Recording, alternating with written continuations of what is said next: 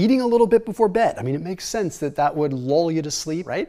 But you have this one side that is just saying, no, you can't do that. If you eat before bed, it disrupts your circadian cues and you're not going to sleep well at all. But on the other side, playing devil's advocate here, like eating a little bit before bed might help you out, but there's very, very distinct nuance there. So does having a little bit of protein before bed help you sleep? The answer is it all depends on your situation. See, there was an interesting study published in Advances in Nutrition that found when subjects in this particular case were in like a 16% protein deficit, that is when their sleep was disrupted. So in essence, it wasn't so much about their caloric needs. It was more about like what they needed in the way of protein. So a lot of times what we'll notice is that, okay, if you're deficient in calories or you're decreasing calories because you're dieting, you have these increases in adrenaline and noradrenaline and, and uh, just catecholamines that keep you awake because, you, well, I guess in essence, you're kind of starving, so your body just doesn't sleep as well. Okay, well, is it the calories or is it the protein demand? Right? Is it the need for protein? Well, here we have to look at two additional studies, and these studies look at very similar things. They found that in isocaloric states, like when calories are equal, if your protein needs are not met, you don't seem to sleep well. But above and beyond meeting your protein requirements, it didn't improve sleep. So in this particular case, it's like having 20% protein versus 30% protein didn't make a difference. But compared to like maybe 10 or 15%, it did. So the point in this is saying like if you're training harder and your demand is higher and you need more protein because you had more muscle protein breakdown, perhaps it's less about the calories coming in and more about getting yourself to a stable protein level. So sometimes what it is is if people have like a little bit of chicken or like a little Greek yogurt or something before bed, it helps them sleep because maybe it got them up to that threshold where they're a little closer to break even at the protein level. Some of this is somewhat hypothetical based upon like extrapolating data from research, but I'll tell you my experience. When I train hard, when I increase my training intensity and I'm decreasing calories, I better be keeping my protein high, otherwise my sleep will suffer. So a lot of times what I'll do is I'll have like just 0% fat yogurt. I'll just get organic, fat-free yogurt usually Greek yogurt, obviously, because it's higher protein. And what I'll do is in this particular case, I'll put a scoop of protein in it. Please hear me out on this, because I know I might catch some flack for it. But I'll put like a scoop of plant based protein powder in it. The reason I do that is because I know that animal based protein is a more abundant amino acid profile, higher levels of tryptophan.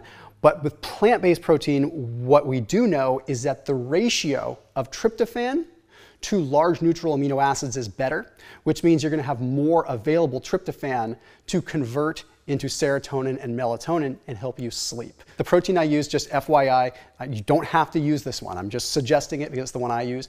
I use SunWarrior's active line, so I use their active protein because it's a combination with pumpkin protein, which I think is a very, very well-rounded plant-based protein, and it's really interesting blend. They also have digestive enzymes and probiotics in it as well, because one of the biggest issues we face when we are trying to sleep is the digestive load. So the enzymes potentially help with that. I find I try whey, I do these things and they work, but I find I feel a little bit better when I use that active line. So again, just a recommendation, but I did put a link down below that will save you 20% off if you wanna try it out. Again, they have chocolate, they have vanilla, really good flavors that taste not like typical chalky plant-based weird protein powders. Don't get me wrong, I'm not anti-animal based proteins. I just feel like in this case it works well. So that link is down below in the description. Again, try it out. Very, very interesting. It's a perfect protein to have before bed just because of the digestibility in my humble opinion. So that link is down below. The reason that I like to keep it lower fat in this case is A, I don't want to increase calories.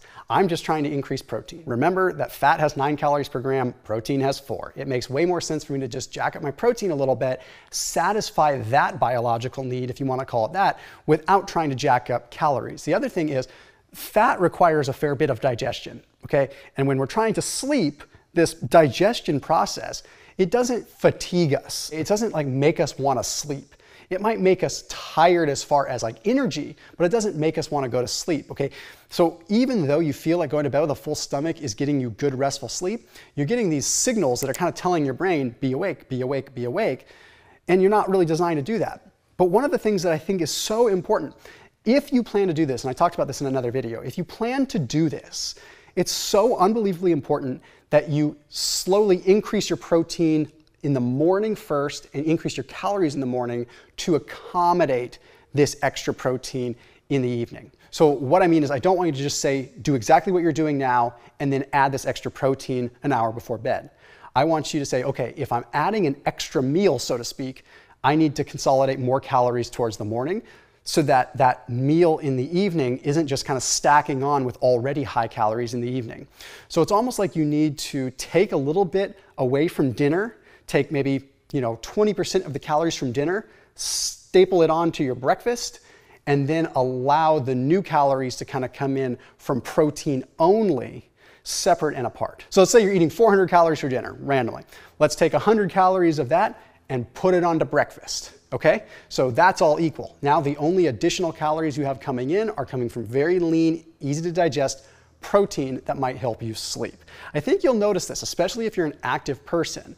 So remember, it's okay to occasionally eat at night. It's not going to disrupt everything. And if it works for you, sleeping is better than not sleeping no matter when you're eating. I'll see you tomorrow.